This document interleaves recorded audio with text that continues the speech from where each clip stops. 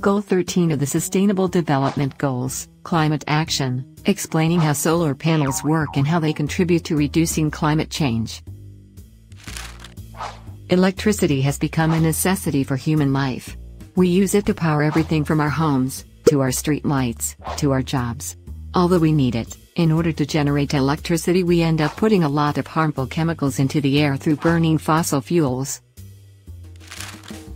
Natural gases and coals are emitting toxic levels of carbon into our atmosphere that contribute to global warming.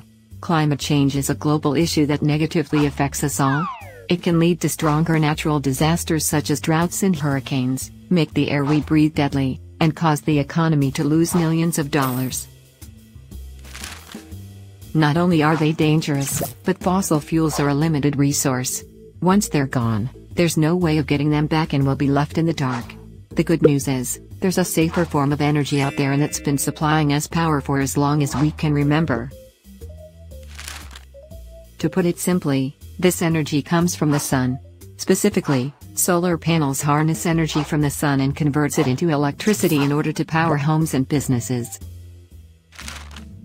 They do this by exciting electrons in silicon cells using the photons of light from the sun.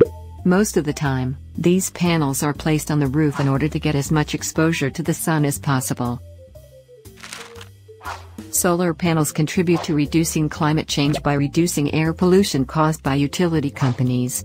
Using solar power creates peak load generating capacity, which saves utilities from using polluting supplemental systems during times when demands for energy are high.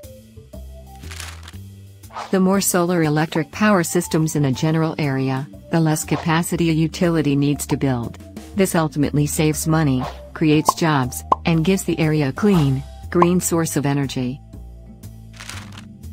Solar energy is a resource that's been fueling the planet for centuries. Now we can use it to power our homes and help keep the planet clean and safe.